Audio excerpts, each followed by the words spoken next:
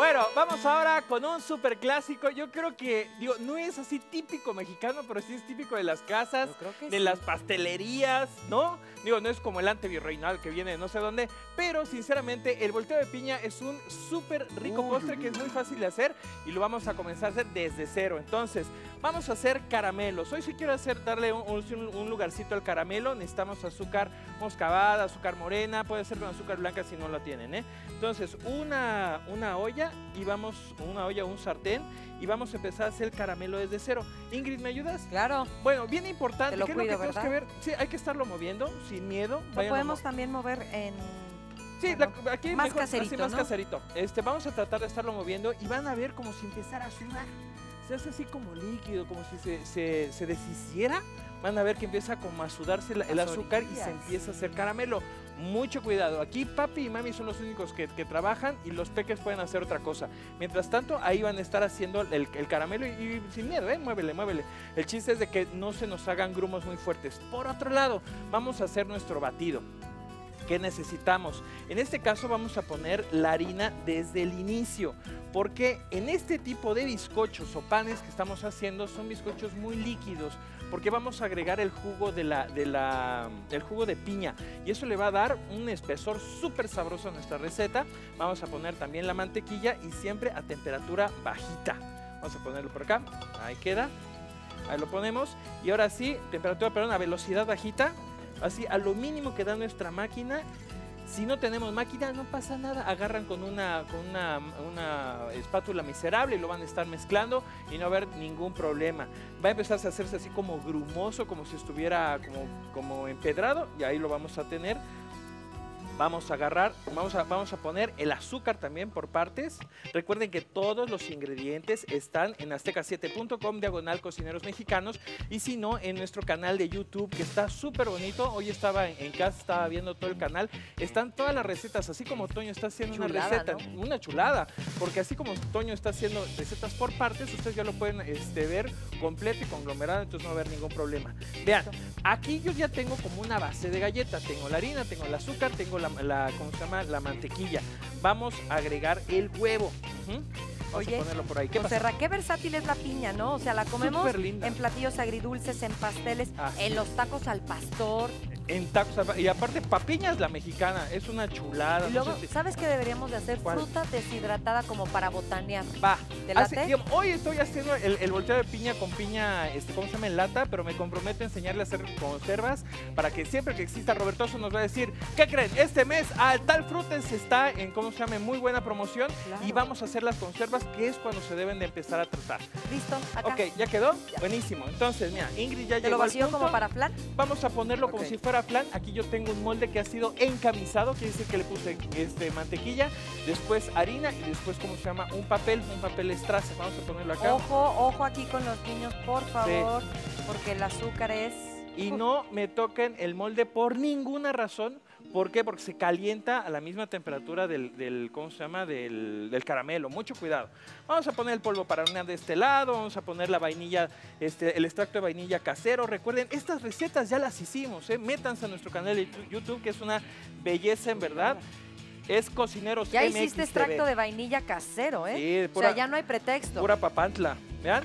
Entonces, ahora vamos a poner ahí la cremita. Aquí, ¿qué crema? Crema para montar, crema de rancho, crema de su creme, de la cremería de, ¿cómo se llama? De su mercado. Y queda súper. ¡Ush! El tri.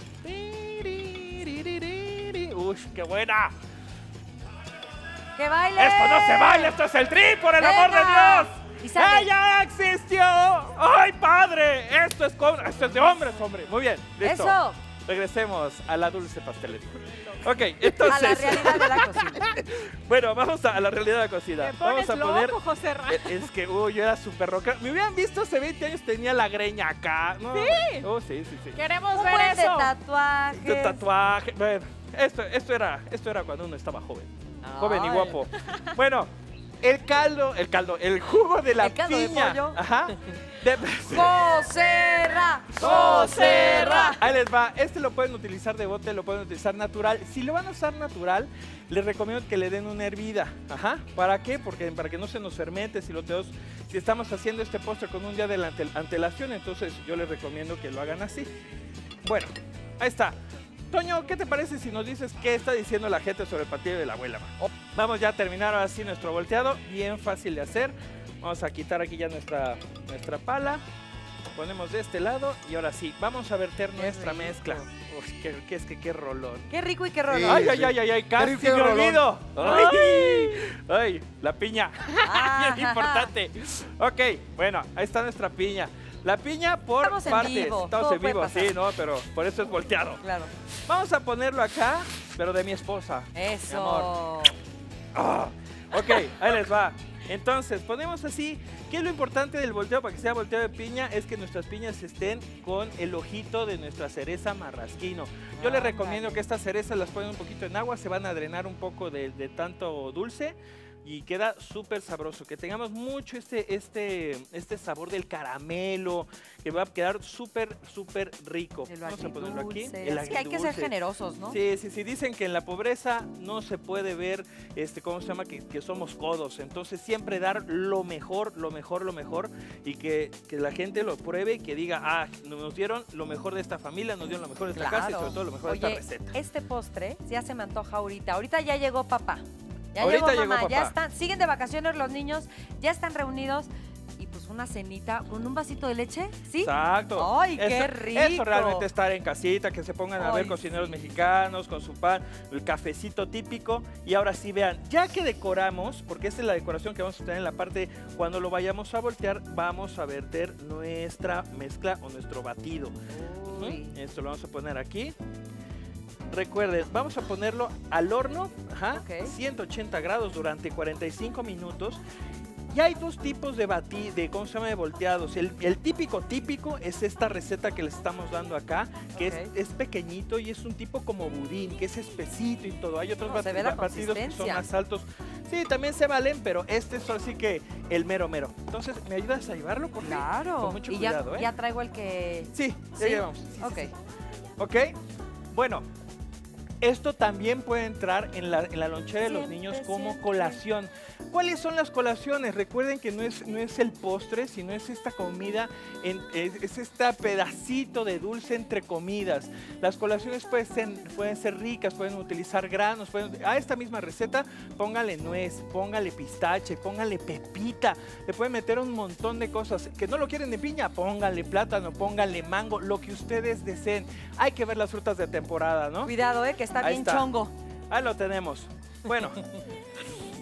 Ingrid, ¿qué te parece si vamos a ver un todos somos? Órale. ¿No? Porque todos tenemos un- un- un dif- una diferente profesión. Bueno, vamos a ver qué onda con este volteado. Como pueden ver, es un pastelito muy rico, es muy contundente, muy sabroso. Entonces aquí nomás hay que hacerle dos que tres así. Recuerden que tiene caramelo, entonces siempre vamos a, a darle vuelta. Un solo golpe sin miedo, ¿eh? La presión. Hay que hablarle con cariño. Como a la suegra. Como a la suegra. como a la suegra. Exacto. Suegrita linda, no. Volteado, hazte presente. ¡Eh!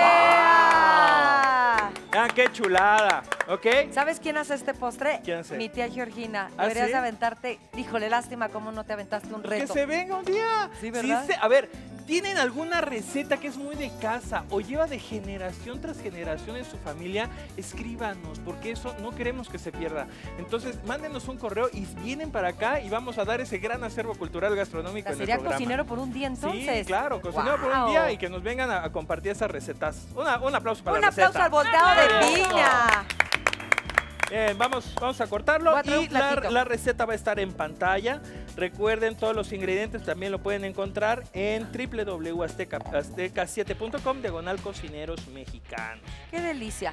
Es súper sabroso. Y te escuché cuando fui al horno que también le podemos mandar hasta unos cubitos al niño, ¿no? Exacto, sí, sí, sí, al lunch, de la parte de la piña y que quede. Ya ahorita pues, no pasa nada, lo hicimos de lata. Pero la- en, en la se- en esta semana les voy a enseñar a hacer sus, sus propias, este, ¿cómo se llama? Frutas en, almíbar y va a quedar súper rico, hecho por mamá y bien, bien fresco, ¿vale? Bueno, pues nos Buenísimo. quedamos, nos quedamos aquí probando tu volteado de piña. Va que va.